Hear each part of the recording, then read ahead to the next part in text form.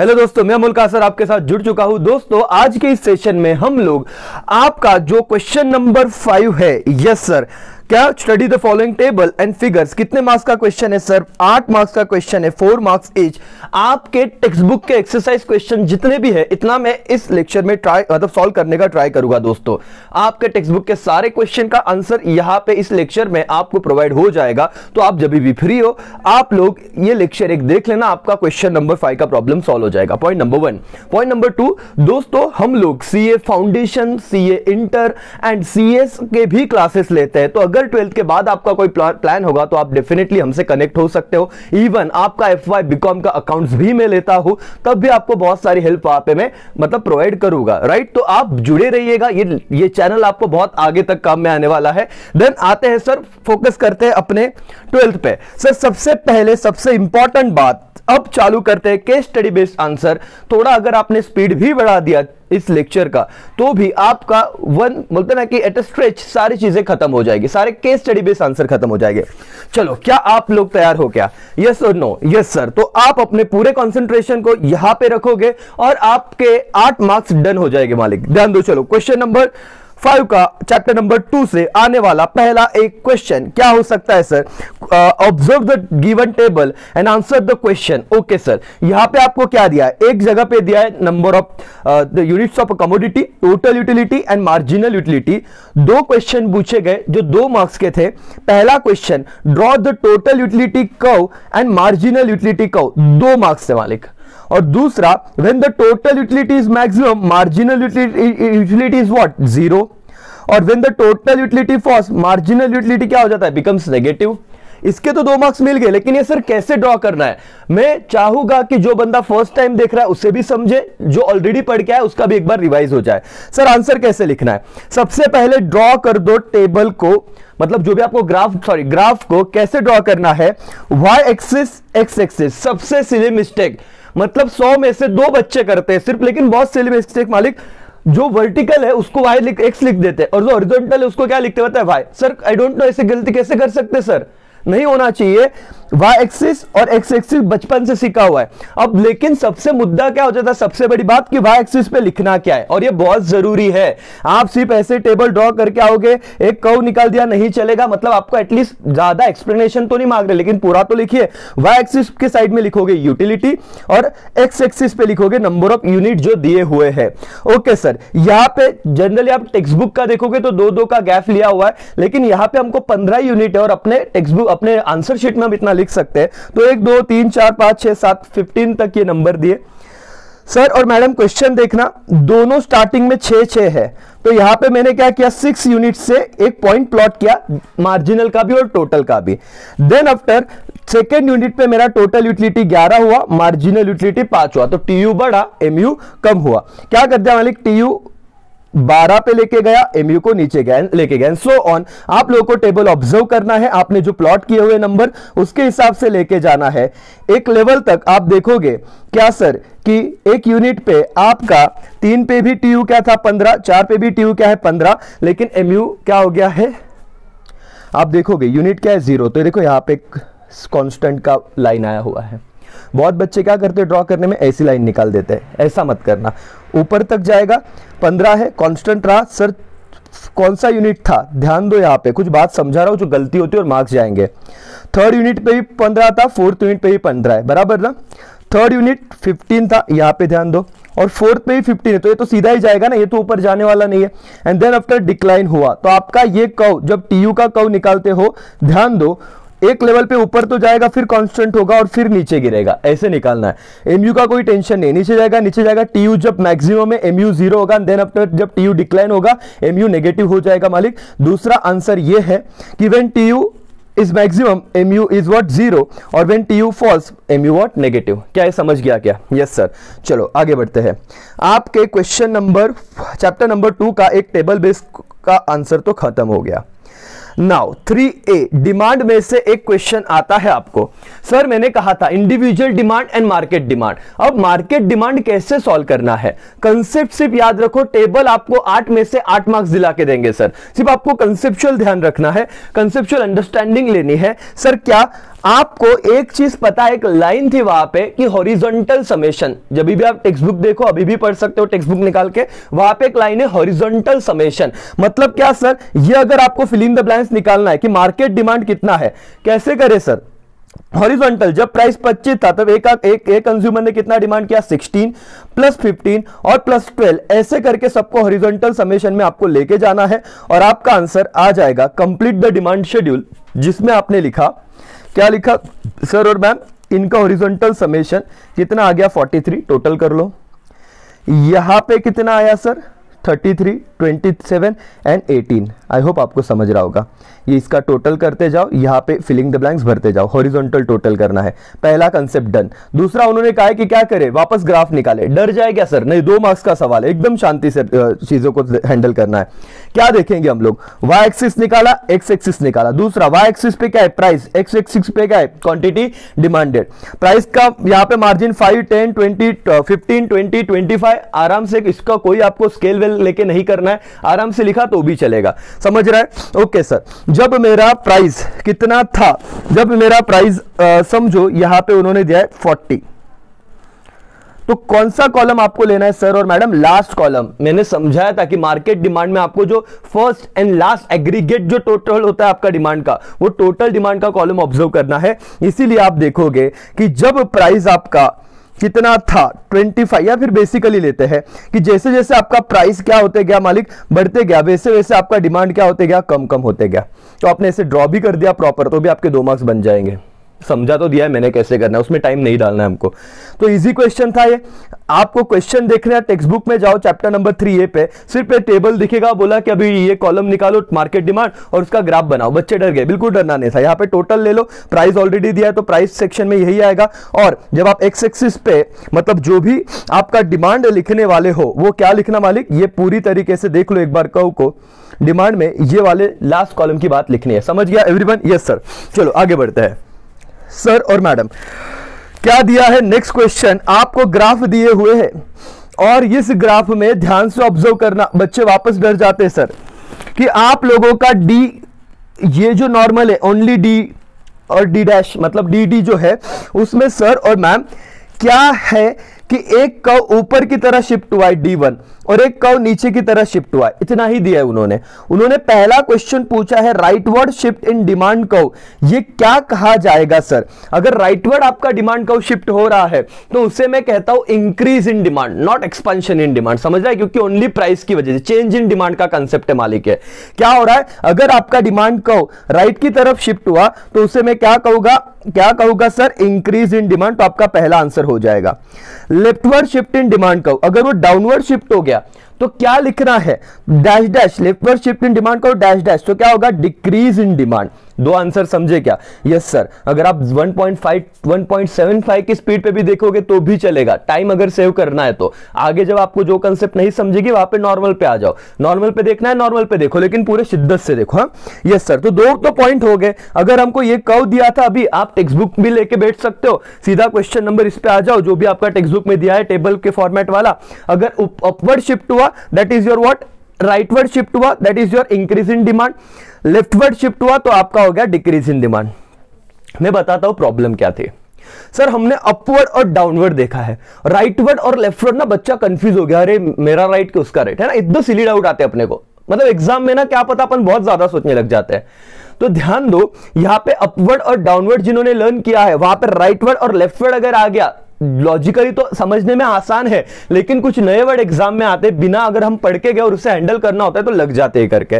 तो rightward sir upward shift हुआ तो हो जाएगा increase leftward downward shift हुआ तो हो जाएगा decrease okay price remains dash dash मुझे बताओ, जब चेंज इन डिमांड है, वहाँ पे प्राइस क्या रहता है? कॉन्स्टेंट रहता है मालिक तो या सेम रहता है? आप कोई भी वर्ड लिख सकते हो। प्राइस रिमेन्स द सेम या constant then after, increase and decrease in demand comes under what? Dash dash. Variation या change तो यहाँ पे आंसर आएगा change in demand. चार पॉइंट हो गए सर ये टेबल में किसी को दिक्कत नहीं चाहिए. कंसेप्ट क्या है? वेरिएशन इन डिमांड मतलब क्या? सिर्फ़ प्राइस की वजह से चेंज हो रहा है, उसे वेरिएशन इन डिमांड कहते हैं. अदर देन प्राइस की वजह से चेंज हो रहा है, उसे क्या कहते हैं? क्या कहते हैं? इंक्रीज और डिक्रीज और चेंज इन डिमांड कहते हैं. अदर देन प्राइस यस मालिक, चलो, ये वाला क्वेश्चन खत्म. अब हम जाते हैं आगे. वो है आपका ओके okay, और एक क्वेश्चन है जैसे कि अब वेरिएशन की बात आई है। देखो कंसेप्ट आया और यहाँ पे क्वेश्चन भी आ गया। In diagram A represent dash dash in demand क्या है सर ए क्या आपका डिमांड बढ़ रहा है कि कम हो रहा है? डायग्राम ए और डायग्राम बी की बात की है। और यहाँ पे देखना क्वांटिटी डिमांड ये आपका लॉजिक आपको समझना चाहिए था। पहले प्राइस अगर कम हुई तो आपका डिमांड बढ़ेगा कि कम होगा? बढ़ेगा, लेकिन सर क्या लिखे? इंक्रीज लिख के आए क्या? आंसर गलत हो जाएगा मालिक। सुनो, ये एक एक मार्क्स मैटर करेंगे और मैं चाहता हूँ कि टेबल देख के आपसे डर मत जाओ। लेक्चर लास्ट तक देखो, सारी चीज़ें समझ लो। ऐसे भी मैंने कहा है आपको कि आपका पूरा पढ़ाई का शेड्यूल हो गया। जब पढ़ाई नहीं हो रही तो मेरे लेक्चर देखो। सर सारी बातें समझ जाएगी आपको। समझ रहा है क्या एवरीवन यस और नो यस सर ध्यान दो दोस्तों, यहाँ पे बहुत सारे बच्चे इंक्रीज लिख के आते हैं आंसर गलत हो जाता है, आपको क्या लिखना है? एक्सपांशन लिखना है। चलो यहाँ पे आंसर भी दिखाता हूँ मैं। क्या लिखना है आपको? एक्सपांशन लिखना है। एवरीबडी सिली मिस्टेक करोगे क्या? नहीं करेंगे sir okay in diagram B represent क्या हो रहा है? देखो, इस डायग्राम इस इस एरो की तरफ़ ध्यान दो। प्राइस बढ़ रहा है ऊपर तो डिमांड क्या होगा? कम। लेकिन बच्चे लिखेंगे डिक्रीज चलेगा क्या? फॉल्स चलेगा क्या? नहीं सर क्या लिखना है? कॉन्ट्रैक्शन क्या लिखना है कॉन्ट्रेक्शन क्या समझ रहा है क्या? Yes sir in diagram A आपके टेक्स्ट बुक आप लेके बैठो। वहाँ पे सारे क्वेश्चन मिलेंगे। मैंने टेक्स्ट बुक के सारे क्वेश्चन टेबल और डायग्राम के कर लिए हैं। सो प्लीज़ ये रिक्वेस्ट है कि आप टेक्स्ट बुक लेके बैठे ताकि आप और अच्छे से एक्टिवली उस चीज़ को कर पाओगे। आई होप आपको समझ रहा है। मालिक, क्या ध्यान दो? सबका फोकस यहाँ पे होना चाहिए। हंड्रेड परसेंट कॉन्सेंट्रेशन दो। कम दिन रह गए, लेकिन आपको क्वेश्चन नंबर फाइव में दिक्कत नहीं आनी चाहिए और जितना मैं करवा रहा हूँ, उसमें से एक्सपेक्टेड दो चार क्वेश्चन भी आ गए। तीन में से दो ही हमको लिखने, सर। तीन में से दो ही लिखने। तो खत्म हो गया ना, हमारे मार्क्स हमारे झोली में आ जाएँगे। Okay sir third a diagram A movement of demand curve is in dash dash sir क्या है डाउनवर्ड ये शिफ्ट नहीं होता, यहाँ पे सिर्फ़ मूवमेंट अलोंग द कर्व चलता है वेरिएशन में। सीए फाउंडेशन के लिए भी याद रखो। डिमांड का जो कर्व है, वो क्या रहता है? Movement along the curve variation में चलता है। तो ये डाउनवर्ड शिफ्ट है और यहाँ पे क्या हो गया? अपवर्ड शिफ्ट डायरेक्शन में चला गया। ठीक है, लिख दो आंसर खत्म हो गया सर ये समझा हमने। तो सर ये मैं क्यों समझा रहा हूँ? अगर उन्होंने टेक्स्ट बुक के एज इट इज़ नहीं पूछे, लेकिन उसकी तरह के थोड़ा घुमा फिरा के पूछा कंसेप्ट अगर याद रहा तो आप सब चीज़ें कर सकते हो, मालिक।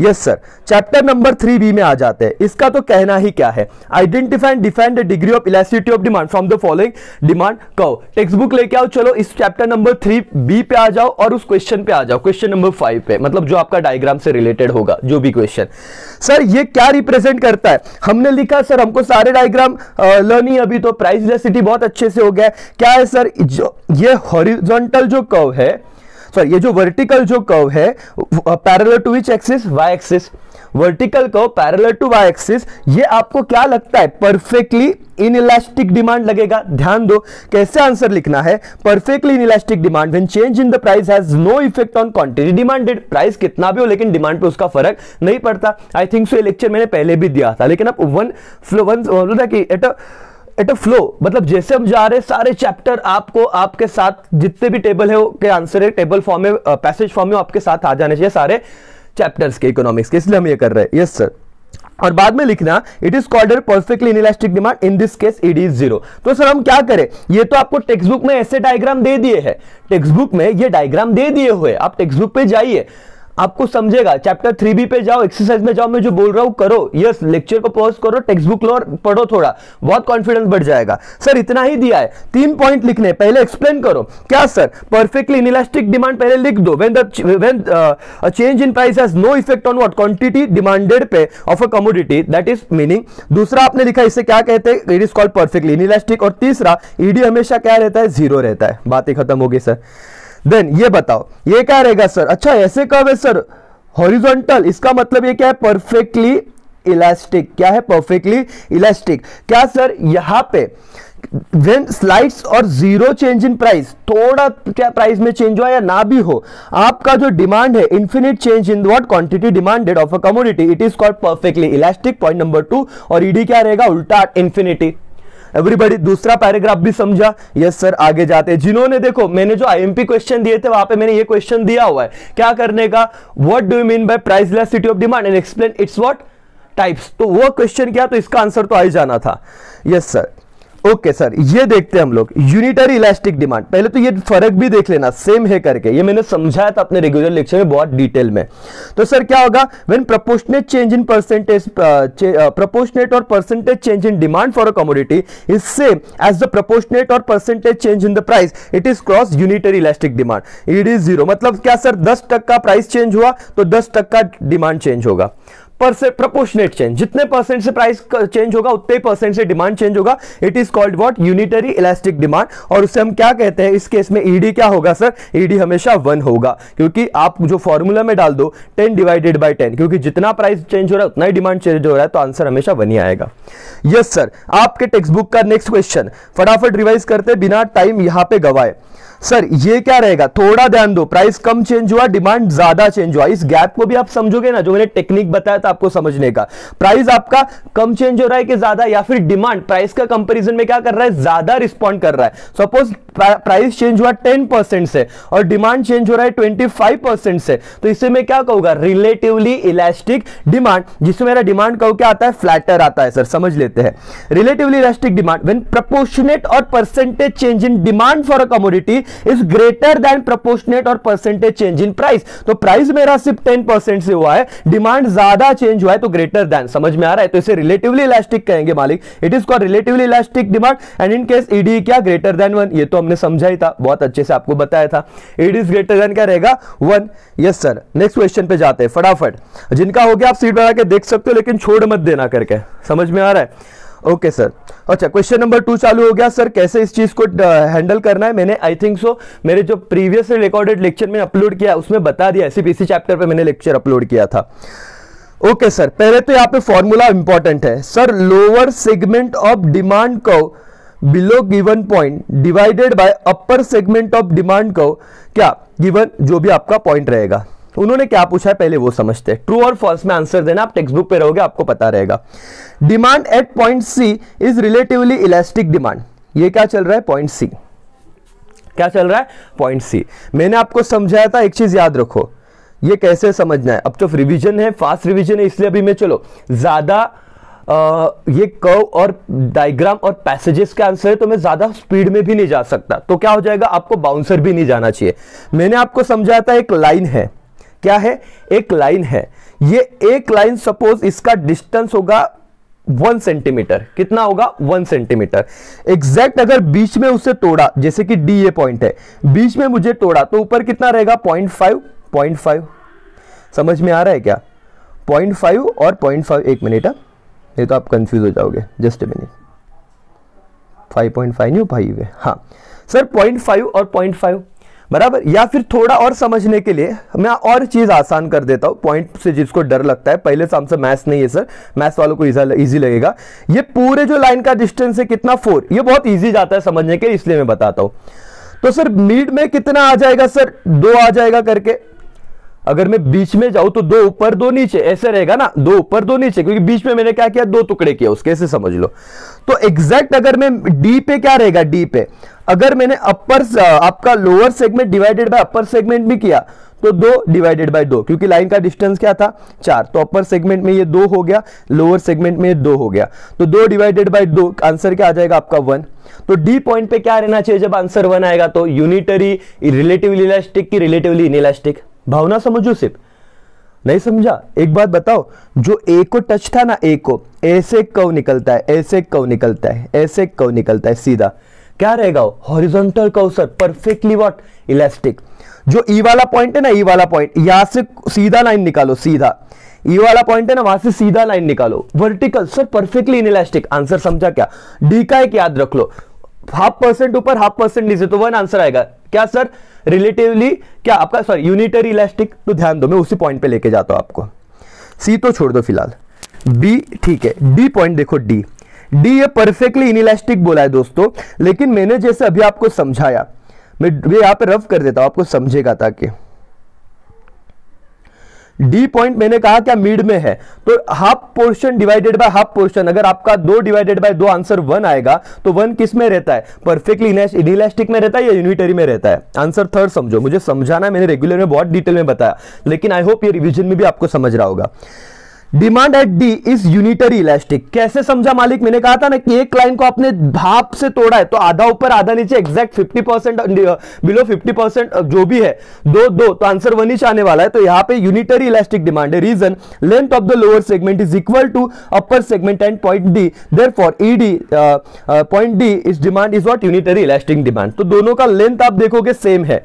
उन्होंने कहा क्या लोअर सेगमेंट का लेंथ और अपर सेगमेंट का लेंथ सेम है बिकॉज़ उसको बीच में से डिवाइड किया है। दैट्स वाई थर्ड का आंसर क्या है? फॉल्स कैसे डील करना है, समझा क्या? आई नो जो होशियार बच्चे जिन्होंने बहुत पहले पढ़ के रखा है, उनके लिए बहुत आसान बात थे। लेकिन ऐसे भी जो स्टूडेंट जो क्लास नहीं लगा पाए, उनको समझा ही नहीं, ये क्वेश्चन स्किप करने वाले थे। मालिक स्किप मत करो, समझो।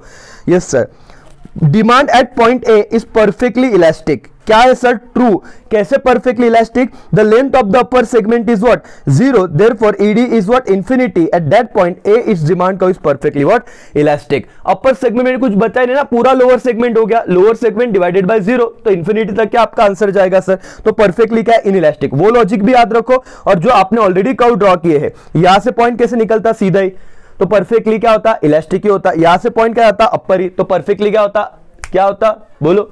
इन इलास्टिक मिडल में है तो यूनिटरी हाफ़ पोर्शन ऊपर हाफ़ पोर्शन नीचे। अब बी है बी देखो बी पे क्या रहेगा? ज़्यादा पोर्शन क्या है? ऊपर की साइड है। सर मोर पोर्शन ऊपर की साइड है। मतलब समझो, पाँच ऊपर है या दस ऊपर है, दस ऊपर है और दो ही नीचे है। लेस पोर्शन अपर सेगमेंट है। तो आंसर क्या आएगा? डिवाइड कर लेने का। दस डिवाइड कोई भी रैंडमली नंबर लो। लोअर सेगमेंट बड़ा है तो दस अज्यूम कर लो, ऊपर रखा।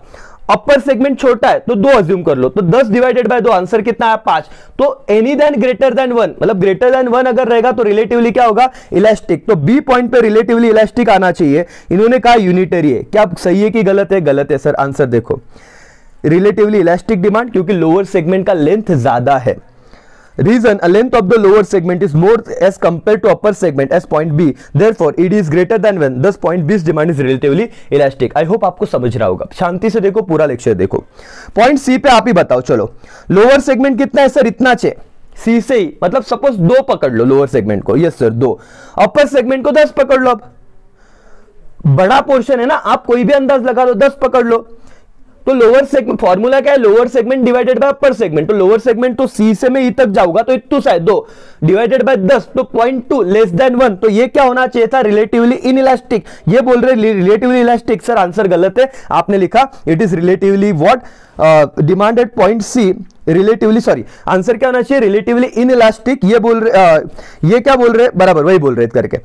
At point C relatively elastic demand that is the correct ये फॉल्स है correct statement is relatively what ये इनइलास्टिक डिमांड है राइट right, सर हमने अभी तक सही सब डिस्कस किया हुआ है क्योंकि आपका आंसर क्या है? लेस देन वन आना चाहिए मालिक। आई होप पॉइंट समझा? Okay okay? आपकी टेक्स्ट बुक आपके सामने होगी। मैंने इतना सब ये ड्रॉ करके रखा है ना इसलिए वो कंफ्यूजन हो गया। लेकिन आपके सामने सिर्फ़ आपका क्वेश्चन ही है। ध्यान में रखो। समझ रहा है, सर? उन्होंने क्या कहा? पॉइंट सी पे रिलेटिवली इलास्टिक है। रुक जाओ थोड़ा। लोअर सेगमेंट देखो, छोटा है। डिवाइडेड बाय अपर सेगमेंट आप करोगे दो डिवाइडेड बाय दस। एग्जांपल अजम्पशन के बेसिस पे आपने ले लिया। तो point two sir less than one ही आंसर आएगा कोई भी छोटी चीज़ को बड़ी चीज़ से डिवाइड करेंगे तो तो लेस देन वन मतलब रिलेटिवली क्या? इन इलास्टिक ओके मिडल में यूनिटरी पॉइंट अगर वाई एक्सिस पे टच है तो क्या हो जाएगा? परफेक्टली परफेक्टली इलास्टिक कैसे, सर? क्योंकि वहाँ पे तो ज़ीरो अपर सेगमेंट पूरा है नो लोअर सेगमेंट कुछ है मतलब आपका लोअर सेगमेंट पूरा है अपर सेगमेंट कुछ है ही नहीं and so on I hope आपको समझ गया रहेगा और ज़्यादा डिस्कस नहीं करते कंफ्यूजन नहीं बढ़ाते करके. यस सर आगे जाते हैं. क्या है? फोर्थ चैप्टर में कुछ दिया हुआ है. सर एकदम सिंपल है सप्लाई शेड्यूल यहाँ से क्या करने का ऑब्ज़र्व करने का. पहले तो याद रखो प्राइस और सप्लाई में रिलेशनशिप है डायरेक्ट रिलेशनशिप है। चलो सर तो यहाँ पे आप देखो प्राइस बढ़ रहा है कि कम हो रहा है? बढ़ रहा है। दस, पंद्रह, बीस, पच्चीस, तीस, पैंतीस, चालीस प्राइस बढ़ रहा है। अगर प्राइस बढ़ रहा है मालिक, अगर प्राइस बढ़ रहा है तो यहाँ पे याद रखो, आपको 50 के प्रोपोर्शन से ही बढ़ा दो। 250 300 350 400 450 500 लॉजिक से मुझे ये याद रखना है कि उसका रिलेशन क्या होना चाहिए? प्राइस और सप्लाई का डायरेक्ट रिलेशनशिप होना चाहिए, बढ़ता ही होना, बढ़ते ही जाना चाहिए करके। सर आंसर क्या है? आपके टेक्स्ट बुक में दिया है। पहले तो complete the supply schedule sir supply schedule मैंने कंप्लीट कर दिया। मैंने इंक्रीजिंग क्योंकि प्राइस बढ़ रहा है तो सप्लाई को भी बढ़ाया। और इसका डायग्राम ड्रॉ करना था, इसमें ज़्यादा वक्त नहीं लगाते। क्या करेंगे? वाई एक्सिस पे मैंने प्राइस लिखा। एक्स एक्सिस पे क्वांटिटी सप्लाई लिख दिया। प्राइस में मैंने दस, पंद्रह, बीस पच्चीस, तीस, पैंतीस, चालीस का एक क्या रखा? एक सेगमेंट बना दिए दस, पंद्रह के हिसाब से। और सप्लाई जो भी बढ़ते गया, एक कर्व ड्रॉ किया, जो अपवर्ड इसमें जा रहा है करके। दैट्स इट एक्सप्लेन मत करो, ज़रूरत है नहीं। स्टेट क्वेश्चन आपका जो आ रहा है वापस टेक्स्ट बुक का state the relationship between price and quantity supplied क्या है sir it can be observe that the price rise from 10 to 40 the supply also rise gradually from 200 to 500 unit thus there is a direct relationship between what quantity demanded and supply क्या हाथ के marks है कि नहीं? क्या कहा, कौन सा रिलेशनशिप है सर डायरेक्ट रिलेशनशिप है। क्यों? क्योंकि प्राइस बड़ा है तो सप्लाई भी बड़ा है। खत्म। ओके मालिक next question observe the market supply schedule of potato and answer the following question क्या कहा? Observe the what market supply schedule of potatoes and answer the following question sir और मैडम ध्यान रखो, हम क्या करते हैं? जब भी मार्केट शेड्यूल आता है तो हॉरिजॉन्टल समेशन लेते हैं। क्या करते हैं? हॉरिजॉन्टल समेशन लेते हैं। तो यहाँ पे ये सिंपल सा मैथ्स हो गया, जो अपन सेकंड थर्ड स्टैंडर्ड में करते थे। यहाँ पे आपको टोटल आंसर दिया है हंड्रेड बराबर, उसमें से 45 और 20 माइनस कर देना, क्योंकि इन दोनों का टोटल आता है तो सौ आना चाहिए था। तो सर जब हमने 45 और 20 माइनस किया तो यहाँ पे आंसर क्या आ गया 35 अब ये टोटल भी कर लो 35 plus 20 55 plus 45 answer is 100 match हो गया, ये दोनों मैच होना चाहिए। ये दोनों क्या होना चाहिए? मैच होना चाहिए, इतना सिर्फ़ लॉजिक रखो। मार्केट सप्लाई और बाकी इंडिविजुअल सप्लाई इन दोनों का टोटल एक ही जाना चाहिए। लॉजिक सर क्या बात कर रहे हो? दोनों का सेम आना चाहिए, बात खत्म। जितना कम पड़ रहा है, उतना पोस्ट कर देना। जैसे कि सर यहाँ पे 37 प्लस 30 प्लस 45 कितना आंसर हो जाता है? 37 प्लस 30 67 प्लस 45 तो 1 112 ये आपका हो गया आंसर कंप्लीट कर दिया, सर। कुछ भी कुछ दमी नहीं था, सर, इसमें। सर 155 मैंने कहा ना 40 प्लस 55 यहाँ पे क्वेश्चन है ना। ये फाउंडेशन में ऐसा क्वेश्चन आते हैं। 40 प्लस 45 क्वेश्चन मार्क है, सर। मैंने कहा था क्या हॉरिजॉन्टल समेशन ही उस साइड पे टोटल आता है। तो सर, इसका साइड 155 इधर भी 155 करना है। 40 प्लस 45 इट इज़ योर 95 तो रिमेनिंग जो आंसर आएगा क्या होगा 60 क्या होगा? 60 लिख दो। लिखी लिखा ही होगा, लेकिन इसका लॉजिक समझो। अगर पेपर में आपको नंबर अलग दे दिए, थोड़ी ना आप रटे हुए नंबर वहाँ पे लिखोगे। पॉइंट समझ रहा है क्या? पेपर में अगर नंबर ही अलग दे दिया आपको तो आप कुछ बच्चे, मुझे पता है बहुत 90 परसेंट बच्चे लॉजिक से जा रहे हैं। जो 10 परसेंट बच्चे गलतियाँ कर रहे हैं, रट ले नंबर को, रटो मत, समझो। 154 44 प्लस 50 कितना होता है? 94 और 154 बचा हुआ जो अमाउंट आएगा सर यहाँ पे हम क्या कर देंगे? 60 खत्म, सर। तो यहाँ पे भी हमारा टेबल हो गया, हमको मार्क्स मिल गए, सर। समझ रहा है एवरीवन यस और नो यस सर या draw the market supply schedule बोला है। सर सिंपल तो बात है मार्केट सप्लाई शेड्यूल में कुछ भी मत करो। वाई एक्सिस पे प्राइस रखना है, इस पे क्वांटिटी सप्लाई रखना है। जो भी नंबर है, मैंने पोस्ट कर दिए। मार्केट सप्लाई शेड्यूल ड्रॉ कर दिया। ऊपर जा रहा है। Okay find out textbook page number 43 पे आप चले जाना, वहाँ पे आपको एक क्वेश्चन मिलेगा। सब लोग टेक्स्ट बुक पे रहोगे। क्या कहा है? Firm purchase 600 unit of a commodity and incur cost तीन हज़ार तीन हज़ार कॉस्ट निकला। तो calculate the average cost sir simple सा फॉर्मूला था एवरेज कॉस्ट का। Total cost divided by total quantity total cost आ गया मेरा तीस हज़ार। टोटल क्वांटिटी 600 दोनों इंफॉर्मेशन सब में दिए। कॉस्ट का इन्फॉर्मेशन भी सब में दिया है। क्वांटिटी का इन्फॉर्मेशन भी सब में दिया है। तो thirty thousand divided by six hundred average cost is fifty सिर्फ़ बच्चों को फॉर्मूला पता होना चाहिए था। आप पेज नंबर फोर्टी पे हो। राइट? आपको क्या करना है? फाइंड आउट क्या सर आपका एवरेज कॉस्ट सर क्या मुझे टोटल कॉस्ट दिया है क्या? हाँ मालिक। कहाँ पे? तीस हज़ार। क्या मुझे कितने यूनिट परचेस के वो भी दिया है क्या? हाँ सर कितने? 600 फॉर्मूला क्या है sir total cost divided by total quantity is और एवरेज कॉस्ट तो एवरेज कॉस्ट आ गया 50 फर्म ने सेल किया 400 यूनिट ऑफ़ कमोडिटी 10 पर यूनिट दस रुपया पर यूनिट के हिसाब से 400 यूनिट सेल किए। बताओ टोटल रेवेन्यू कितना और एवरेज रेवेन्यू कितना? बताओ टोटल रेवेन्यू कितना और एवरेज रेवेन्यू कितना? डरने का नहीं। टोटल रेवेन्यू का फॉर्मूला क्या है? प्राइस इंटू क्वांटिटी एकदम सॉर्टेड है। मालिक, हाथ के मार्क्स है। तो बेचा कितना? 400 कितने रुपए में? दस रुपए में। तो टोटल रेवेन्यू कितना हो गया? दस इंटू चार सौ।